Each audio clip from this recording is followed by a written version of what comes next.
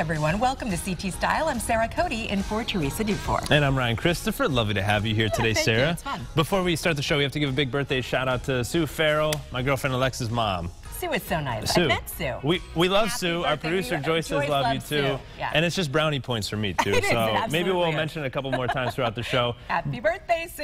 Yeah, happy birthday. Uh, and, and speaking of love, how much we love Sue, uh, love is in the air today on the show because Mm-hmm. we are talking to a Connecticut guy who made his own dating app. He's a UConn grad. Then we're talking to Lisa Antonecchia about Yep. all things weddings. A wedding expert. Those Uh-huh. great baskets that I always use. Yeah. You know, out in the ladies' room or in the hotel rooms or whatever with all the stuff you need Yes, when you're at for a wedding. weddings. Very important Yes. stuff to have. But before we get to that, we got to talk about what everyone's buzzing oh, about Oh, yeah. here. Game of Thrones. Today's dish is all presented by our friends over at Stone Academy. So there's a, petition that over 400,000 people have signed that say that they want an episode refilmed because they were unhappy with it. I think it's about the whole season, isn't it? I mean, Yeah. people are unhappy with this are. final season. And as of now, we're getting updates from producer Joyce. This Is just it in. 450,000 people who've signed this petition?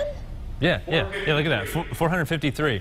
Check that out. Okay. Yeah, the number's right there. We Wow. Just, we don't have our glasses on, that's why. But it's I crazy. definitely don't have I- my glasses on. A lot of people were complaining at Yes. the beginning of the show it was beautiful writing and Right. it kind of went throughout all the different areas of the show and now it's just huge battle scenes and everyone's getting killed and it's it's Right. not what they expect. But I think what it is is you get so invested in a show, you have Mm-hmm. expectations. It's kind of like a relationship. Like you go into it, you have expectations, and if that person doesn't provide what you think they're going to provide, you're not happy. Well, you and I were talking about it. It was sort of the same reaction to like the final episode of Lost. Right. Or the final episode of Seinfeld. I'm dating mm-hmm. myself. I'm going back. But they never quite live up to what you expect. You expect, but I mean, think about this. Put this in perspective. I mean, this is a woman here who's out doing news stories just about every day. Imagine you come back and they say, eh, we don't really like that one. Go redo it. Go do it again. The amount of time, effort, and money right, to right, right. reshoot It's not that. going to happen. Petition no, not, I don't that's think. crazy. The amount Yeah. of money they're going to But I guess the petition is just a statement. True. A statement about quality and whatever. Yeah, I mean, I thought you were going to make fun of me because How could I make fun watch of you? How Every could show. I? love watching TV, and I don't watch Game of Thrones. yeah, which blows my mind because I you are know, a I superhero nerd. I You're all about it, and you don't watch Game of Thrones. That's what every.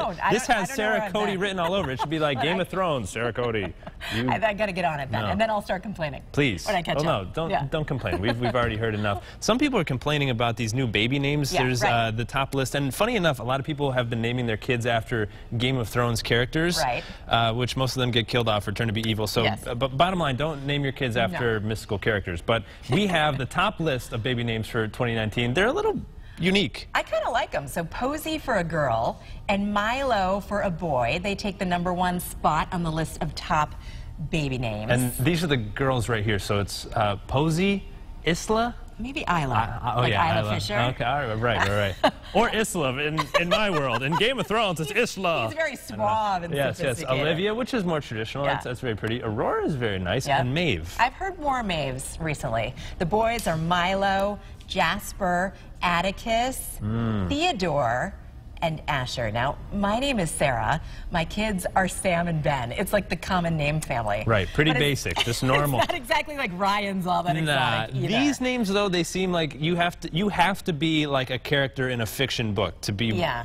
b- to be one of like those names. Like an Atticus. Imagine special, your kid that's going to school saying, "Oh, this is I'm A- Atticus It's a lot to live up to Like, with a name like Atticus that is or crazy. Isla. Yeah. True.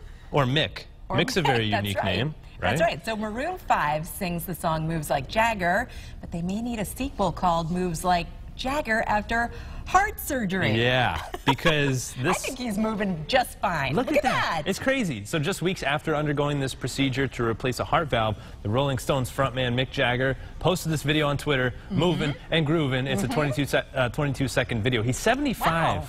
All right, and the Stones had to cancel the tour because of his heart Yeah. surgery, but I think he'll be I back. I think they're already rescheduling, and that was the point of this video, right? Yeah, so to Mick announce is, that. yeah, Mick is looking good. Do you want to recreate that video? Should we get up and do a little? I don't. A little- Oh no. No? Yeah, you can do Uh, it. no, There no, you go. right, our producer's moves, yelling at us. Moves like Christopher. No, you don't want that. That's not. That'd be like Urkel moves. I Yeah, feel oh, like. thank you. Yeah, let me hike my pants up a little bit higher, Sarah. Very right. flattering. Yeah. Well, it's only May, but we're already thinking about the big E. How is that for a transition? Ooh, how about that? The Big E. Already talking about it, I guess. They announced their concert list for 2019. It's a diverse list this year. The singers have uh, the voice Brynn Cartelli, who is, I believe, a Massachusetts native. Okay. And also uh, Rockers Bowling for Soup. I Haven't heard them. that name in quite some time. Yeah. So that's coming around in September, so we got plenty of time. But on our News 8 app, we have the full list of who's coming there. And also on our website, we have the list of the concerts coming to the Xfinity Theater through Live right, Nation. cool. So